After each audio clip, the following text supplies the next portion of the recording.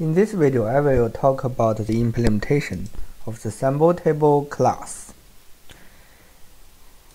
Instead of uh, implementing and testing um, the whole program in video, I skip that process and directly uh, discuss the, uh, the completed uh, program.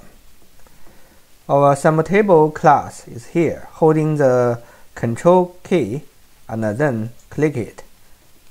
It uh, now we are in the uh, HPP file, uh, header file, C++ header file, symbol table. In this one, uh, it requires four library. It requires uh, to include four library headers. C uh, std int, which in the Hack CPU, the integer uh, length is uh, 16 bits, so we need to use this uh, uint16 type. Unsigned integer 16-bit type.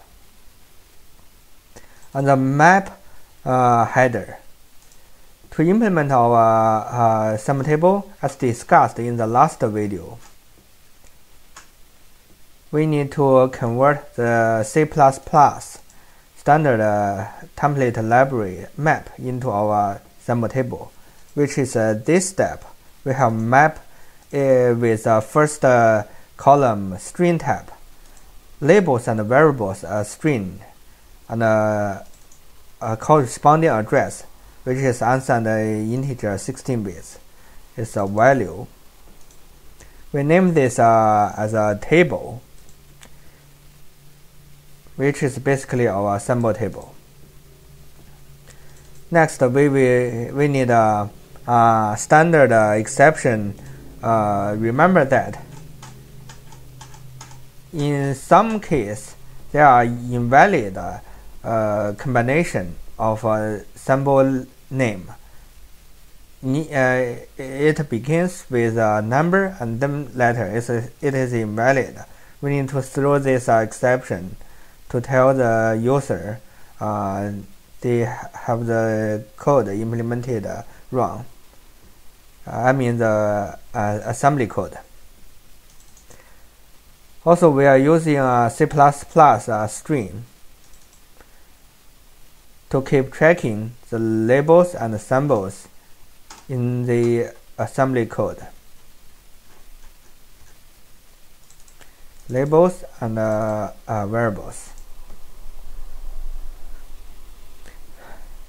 Now let's start uh, looking at our uh, symbol table class. The table uh, discussed uh, uh, before is this uh, the the core storage. It has a pair string and address.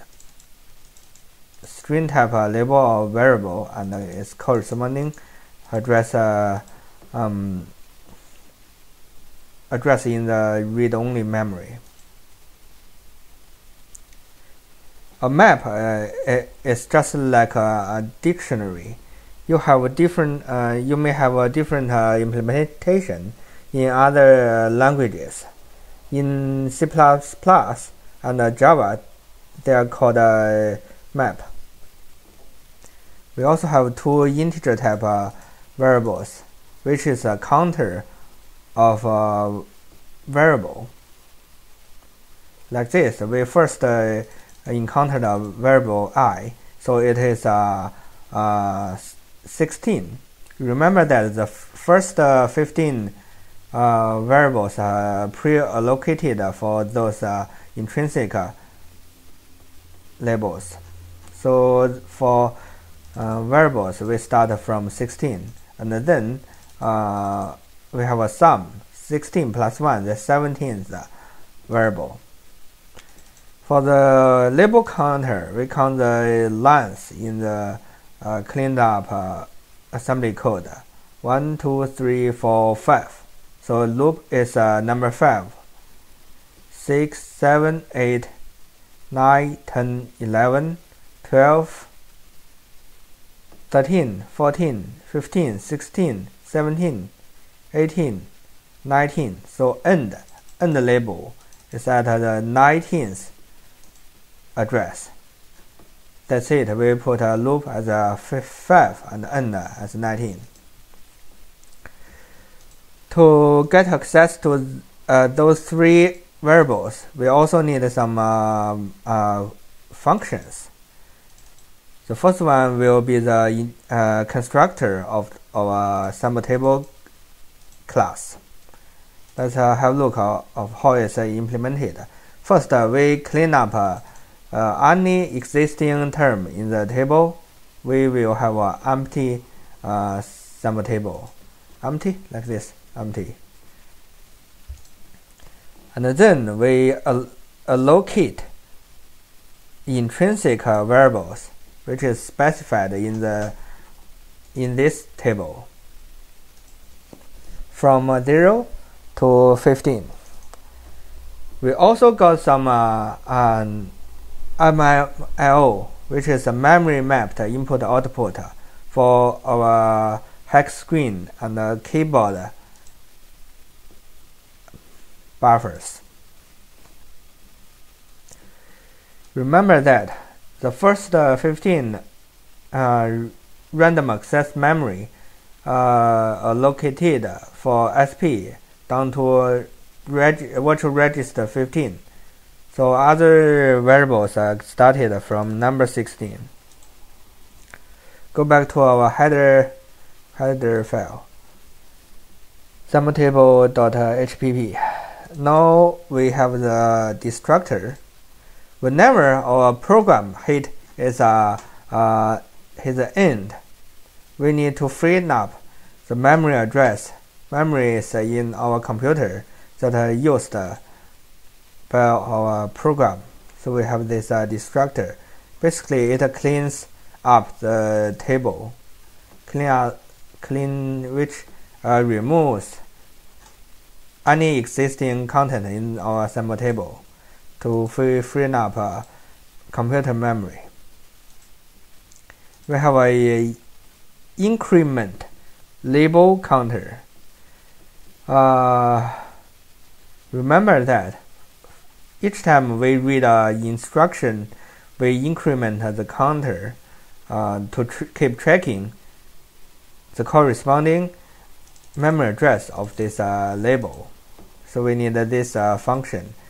Uh, it is very simple, just increment the label counter.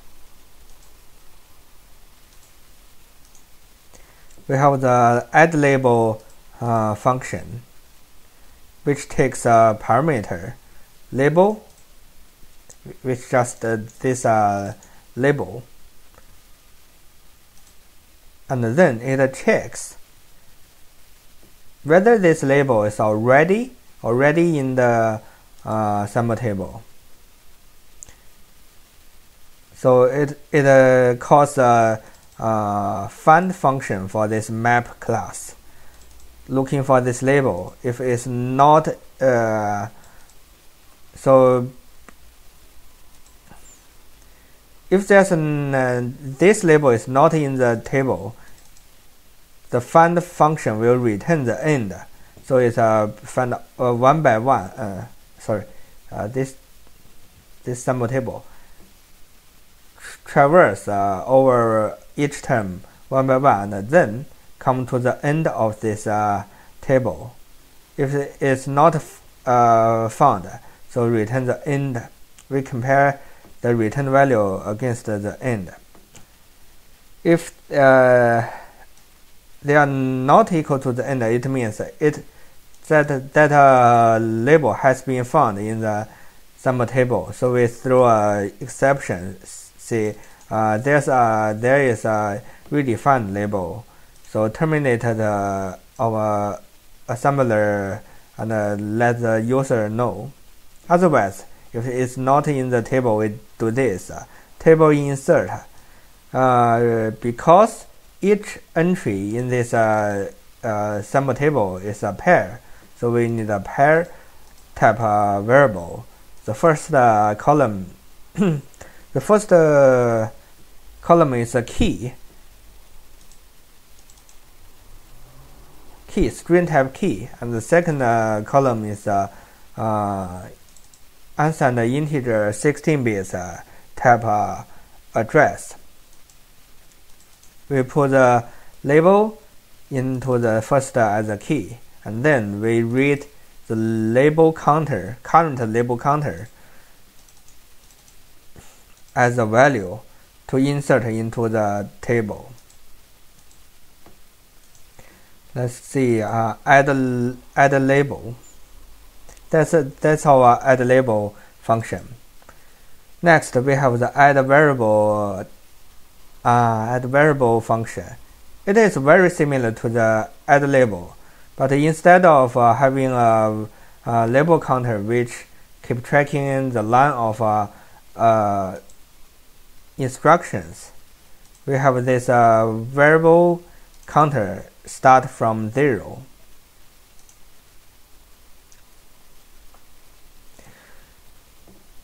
We first uh, uh, search for is that label already exists in the symbol table. If it uh, does exist, we just skip because it's already in the uh, symbol table. If it it is, is not exist, we do this insert uh, that uh, variable and the corresponding uh, address in in the re, uh, random access memory and then increment uh, uh, that counter. for example, we have a, a variable counter as zero. There's no variable in the random access memory already, so we encounter this i variable. We insert it into the um, symbol table. The increment uh, this uh, variable counter we have already have one. So the um, after this step, the variable counter is one. Uh, and keep going. Another uh, symbol insert to the sum table. Increment by one. Now the variable counter is two. And then keep going. We have a i again it is uh, the first uh, variable in the sum table, so it goes here. Uh, this time, because uh, it's already in the table, the find function not return end anymore, so it's just a skip, just to skip this process, because it's already in the symbol table. We don't need to do anything. For the last uh, function, which is a lookup symbol function, which takes in a variable name and return its corresponding memory address. Let's see where it is it. It is here. Uh, for this, we will uh, anyway try to add this variable into the symbol table. Uh, for example, we are still at this step. Takes i in, and uh, call this uh, add variable function. Try to add this. If it is a, uh, of course, it is already in the symbol table, so skip this, skip this step. And then here we use a find uh, function again. It will return that the entry to that uh, uh, the, where the i is uh, stored and dereference it and find the second column. Second column is a uh, corresponding uh, address of the i and return this as a memory address. Yeah, that's it our symbol table class. In the next video, I will discuss uh, parser. Uh, where is that? I will discuss the parser and the code uh, class.